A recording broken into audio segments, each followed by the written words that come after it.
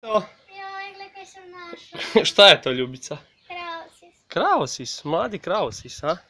Opa, malo je agresivan, ali dobro, ne boj se. Dobar si, dobar si. Aj pričaj nešto o njemu. Pa, malo osjeća kako se mišići napuhavaju. I malo je agresivan. Agresivan. Ne bojim ga se, samo ima...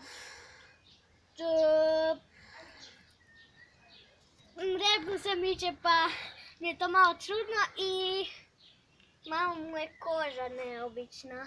Mhm. Ma samo da pokažem da sam hrabar. Da jesi hrabar si. Ne pazi da te ne gricne. Da, neće.